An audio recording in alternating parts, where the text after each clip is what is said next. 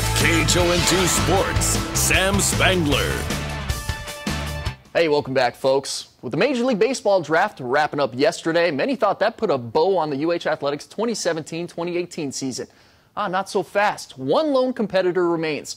That's Lily Lowe, who will hope to go high enough for a national title Saturday at the NCAA Track and Field Championships.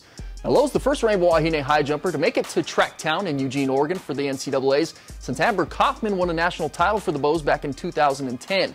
The sophomore's personal record is six feet and a half inch. That's just an inch and a half short of the NCAA top mark this season and ranks fourth in the nation. Lily says qualifying for the NCAA regionals as a freshman a year ago prepared her for what she'll face this weekend. I think freshman year was like a really good way for me to like build a platform for myself and know what to expect for this year. So going into the prelims, I felt super super prepared and knew that I could make it to Eugene.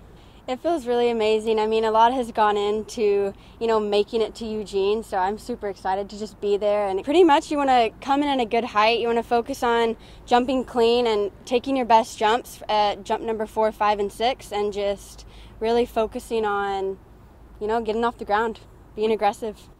The women's high jump final is set for Saturday at 12 o'clock Hawaii time, and the event is scheduled to air on ESPN3.